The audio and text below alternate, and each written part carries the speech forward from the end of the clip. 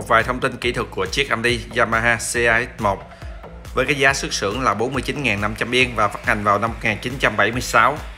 Đây là chiếc âm đi đã được hãng Yamaha thiết kế theo cái chất âm sắc nét và rõ ràng, chi tiết.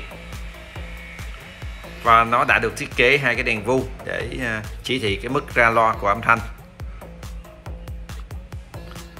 Nó sẽ có những cái chức năng cơ bản như là chức năng low net, chức năng điều chỉnh bass chép, chức năng lựa chọn loa A, B và A cộng B.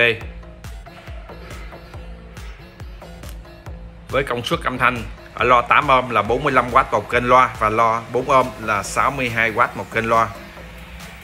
Và công suất à, cực đại của nó là 125W ở lo 8 ohm 190W ở lo 4 ohm. Điện áp là 100V công suất tiêu thụ điện của nó là 105W với kích thước chiều ngang là 435mm chiều cao.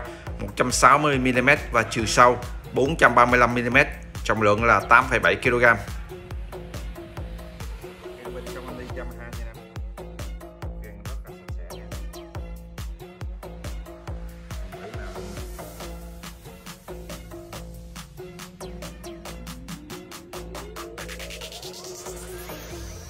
cái dòng Yamaha này thì nó sẽ đánh là bốn sò sắt nha.